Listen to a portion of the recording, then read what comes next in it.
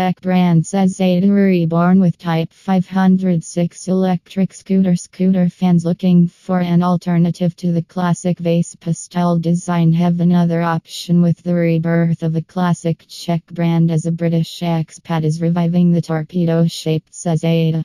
The original Cezeta pronounced Chazetta. Type 501 was introduced by CV in 1957 with its signature design that has been compared to the shape of a torpedo or a pig. The 501 was followed by the Type 502 and Type 505 before production ceased in 1964. Fast forward to 2008 when a Brit named Neil Eammon Smith moved to Prague and bought a vintage Cezeta scooter. Smith started restoring Cezetas before experimenting with electric conversions.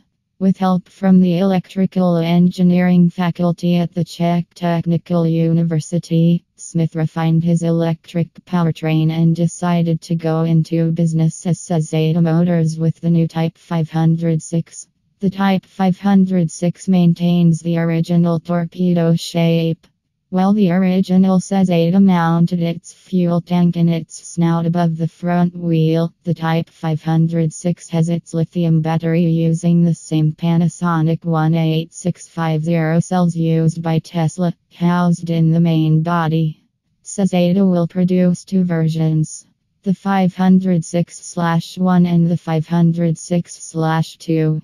The 506 1 uses a 4 kWh battery and claims to produce 10.7 HP from its rear wheel hub motor. With a claimed top speed of 52.8 mph and range of 50 to 62 miles, the 500